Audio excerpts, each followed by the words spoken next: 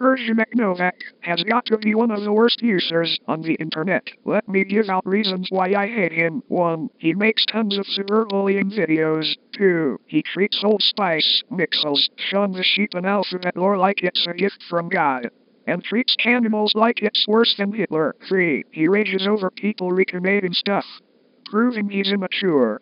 4. He supports murder. One example that he made a video when he eats Mr. Clementon. Dude, you can get arrested if you do that. 5. And finally, he is a disgrace to all of us. Do you know who likes this user? Jaden, Nola, Nanaguming and the MLM army. Do you know who hates this user? Me and Liam Nation so screw Przemek Nowak. And so does Maya the kid's cheering sound effect hater. Light and Ronic is 1000 times better than Przemek Nowak. And the rent.